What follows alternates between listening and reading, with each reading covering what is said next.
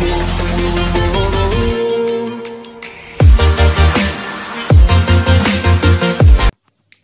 friends, welcome back to Jobs Report. If you are new to our channel, subscribe to our channel as well as press the bell icon for more notification. I make videos on latest job updates. Today posting on Ericsson. Ericsson hiring trainee for fresher for passed out batches 2019, 2020 and 2020-21. The job location is Bangalore.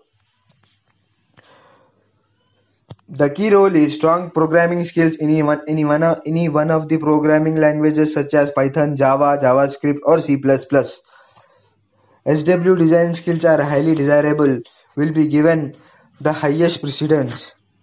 Ability to learn new topics, technologies, framework fast without formal trainings and hand holding. Ability to translate a given problem statement into a software as a solution knowledge of object-oriented programming concept, data structure, algorithm and system-level programming.